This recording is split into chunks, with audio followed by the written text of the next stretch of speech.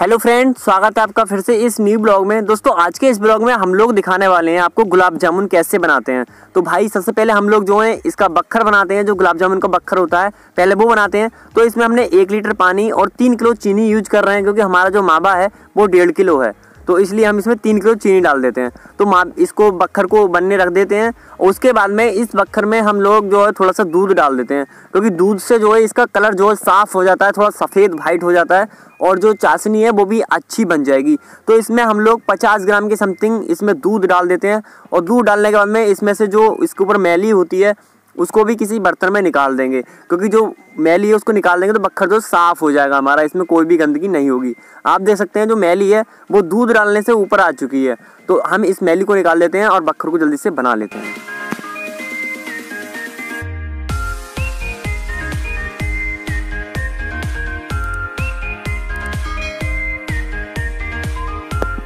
अब क्या करना है, इसमें थोड़ा सा हमें कलर डाल देना है लाल वाला। तो हम इसमें थोड़ा सा कलर डाल देते हैं।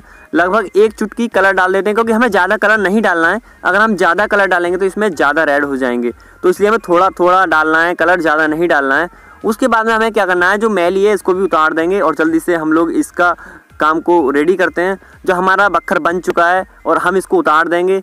अब क्या करना है, जो हमें गुलाब जामुन बनाने हैं तो उसके लिए सबसे पहले हमें क्या करना है, हमारा मावा क्योंकि डेढ़ किलो है तो हमें इसमें आधा किलो के समथिंग जो है इसमें मैदा का यूज़ करना है। तो जल्दी से हम आधा किलो समथिंग मैदा ले लेते हैं और इसको छलनी से जो है छान लेते हैं। जब ये छन जाएगी तो इसमें मावा डाल देंगे। अब इसको चल्ली को एक साइड रख देते हैं और हम लोग आपको दिखाते हैं मावा।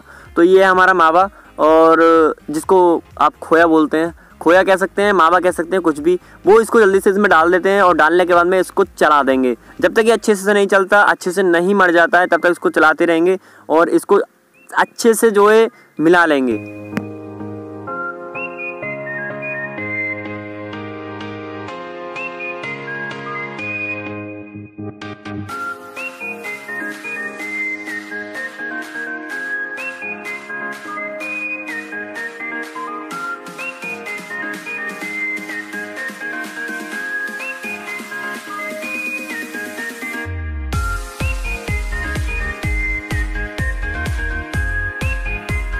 तो दोस्तों, यहाँ पे जो हम लोगों ने खोया और मैदा डाली थी, उसको भी मिला लिया है। अब हमें क्या करना है, इसमें थोड़ा सा खाने का सोडा डाल देना है। तो लगभग हम दो चुटकी इसमें खाने का सोडा डाल देते हैं। खाने के सोडे से क्या होता है कि दोस्तों, जो हमारा जो खोया है, जैसे हम उसको रसगुल्ला बनाएँगे, गुलाब जामुन बनाएँगे तो जो बखर है, वो अंदर तक चला जाता है और रसगुल्ला जो है, फूल जाता है मतलब बड़ा हो जाता है फूल के। तो इसलिए हम लोग इसमें सोडे का यूज़ कर रहे हैं और जल्दी से इसको चला लेते हैं।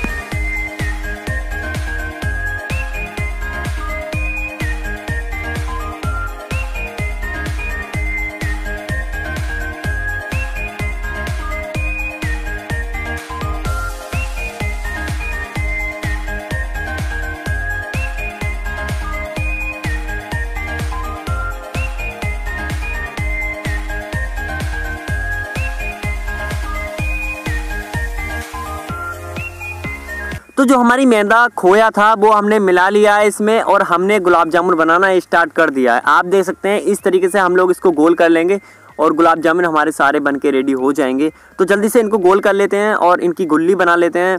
उसके बाद में इसको फ्राई करेंगे और फ्राई करने के बाद में फिर हम डाल देंगे बखर में जो हमारा बखर था और बखर में डालने के बाद में फिर हम लोग उनको थोड़ी देर के बाद मतलब एक दो घंटे के बाद में अगर खा के देखेंगे तो सही लगेंगे, क्योंकि बखर पीने में थोड़ा टाइम लगता है मतलब बखर अंदर तक बैठने में थोड़ा टाइम लगता है। तो जल्दी से पहले गुल्ली बना लेते हैं उसको उसके बाद में फ्राई करते हैं।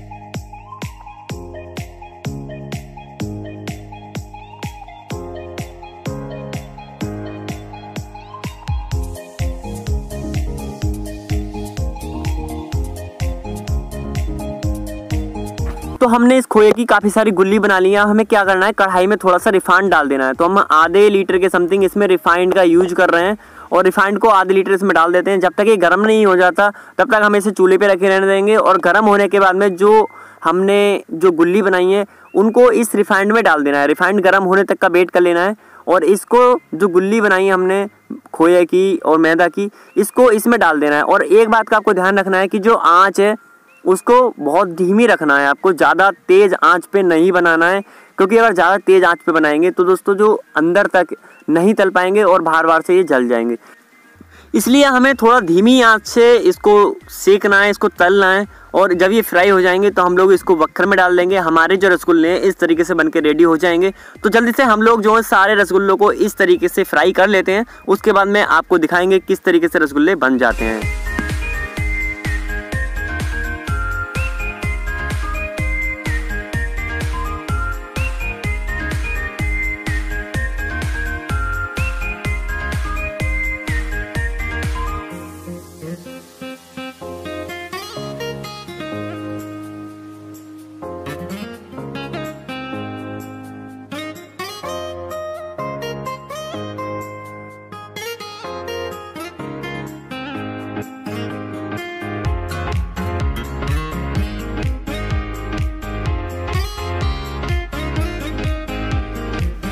अब जो हमने कढ़ाई में रसगुल्ले डाले थे, ये हमारे फ्राई हो चुके हैं। मतलब ज़्यादा इनको नहीं करना है, नहीं तो ये जल जाएँगे।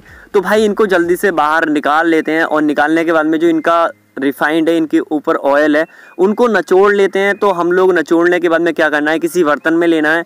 और जो हमने बखर बनाया था, इस बखर में ये सारे गुलाब जामुन जो डाल देंगे और कढ़ाई में जो न्यू गुलाब जामुन डाल देना है और बक्खर में हम लोग जो है ये वाले गुलाब जामुन डाल देते हैं। तो आप देख सकते हैं मतलब कितने अच्छे बन रहे हैं। आप खुद ही देख सकते हैं मतलब कितना अच्छा कलर है और कितने गोल बने हैं। मतलब बहुत ही अच्छे बिल्कुल परफेक्ट बने हैं। कोई भी कमी नहीं है इसमें। अब हम लोग क्या है, इसको जल्दी से नहीं खाएँगे क्योंकि एक दो घंटा इसमें बखर अंदर तक जाने में लग जाएगा। तो हम लोग इनको, जैसे हम लोग शाम को बना रहे हैं तो हम लोग को सुबह में खाने हैं क्योंकि तब तक जो है बखर अंदर तक बैठ जाएगा। जल्दी से इस तरीके से सारे रसगुल्लों को बना लेते हैं।